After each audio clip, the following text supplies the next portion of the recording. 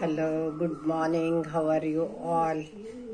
Welcome to you to my English speaking class. I hope you are practicing well at home. Now, while speaking English, we use many figures of speech or poetic device, also we call it. Just I am introducing some of them. No doubt, while speaking for you, no need that you should know whether it is simile or whether it is metaphor, whatever. Only the usages, how we use it. For example, many times we compare the things. For example, we say, she works like a lion. How she works? Like a lion. Then we call it simile because two things are compared with the word like. And the same thing if I say, she is a lion in the work, then it becomes metaphor. See, so easy it is. Hmm? He fought like a lion then it is simile. If I say he was a lion in the fight, then it is metaphor. For example, we say the camel is the sheep of the desert. We use the word many times. Camel is the sheep of the desert. Then it is metaphor. If you use the word like, then it becomes a simile.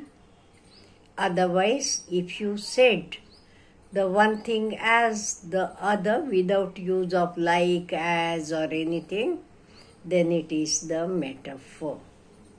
Next is personification. Personification we use many times.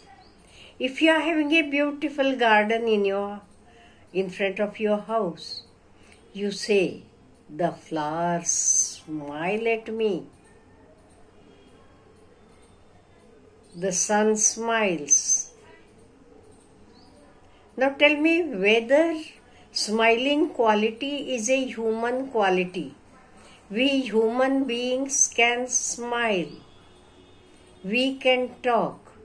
But when this quality is given to other things, then it is called personification, personified.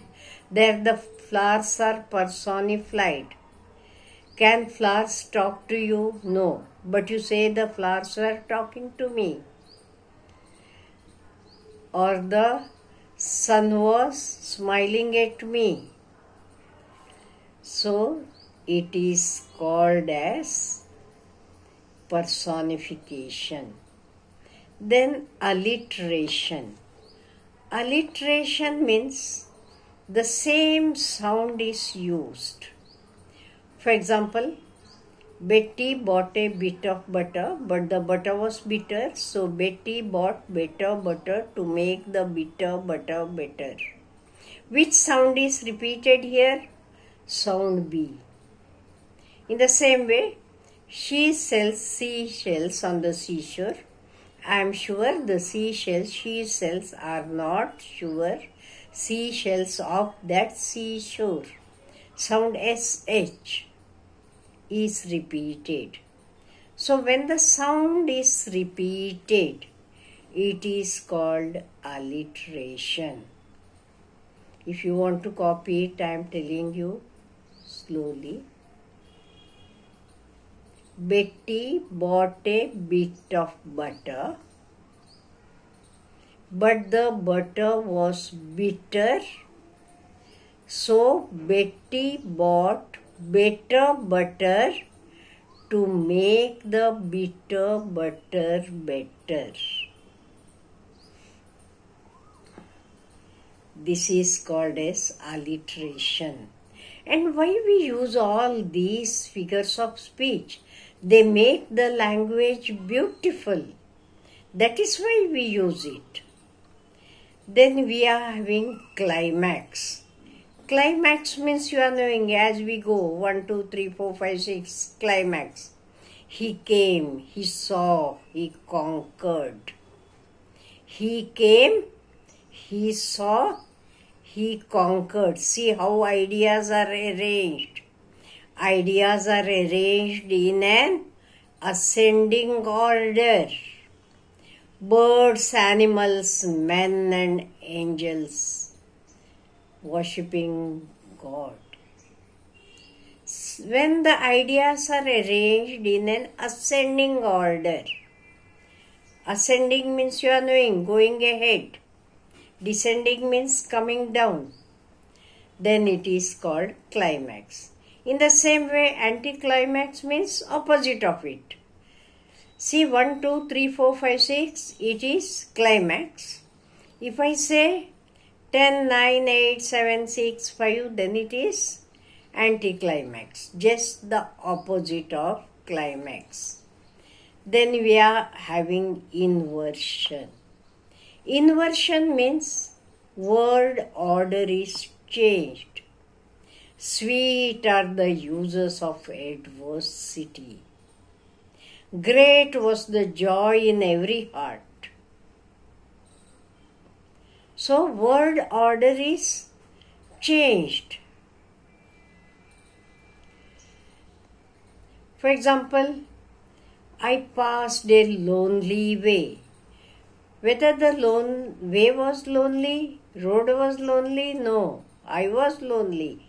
But here the words have been, order has been changed. And hyperbole. Hyperbole is the one which we use many times. Hyperbole means exaggeration. She runs faster than the wind. Now tell me, is it possible for anyone to run faster than the wind? No. Many times we say that there are so many people for the function. There was no place even to throw a mustard mustard seed you are knowing. Even that much space was not there. So that is hyperbole. And repetition means words are repeated. See, alliteration means sound is repeated. Repetition means words are repeated. My love is like a red, red rose. Little lamb, little lamb, where are you? So, little lamb, little lamb, it is repeated. My love is like a red, red rose. So, here the words are repeated. When words are repeated, it is repetition. When only sound is repeated, it is alliteration. Irony. Irony, many times we use it in day to day life. If someone is very late, then you say, Oh, so early you came. It is the opposite way of talking. Then you are having interrogation. Interrogation means question. The rest all we are not using in day to day life. I have told you all these figures of speeches or poetic devices which we are using in our day to day speech. In our day to day speech, we use it. Why? To make the language beautiful. As I told you, irony. If someone works very slow, you say she works so fast like lightning. As I told you, if someone is very, very late, you say, Oh, you have come so early.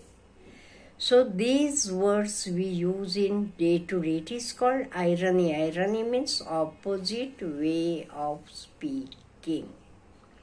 So all these figures of speech are poetic device we use in day-to-day life. Why? To make the language beautiful. Because of the use of these figures of speech, our language becomes beautiful. Acha, have a good day.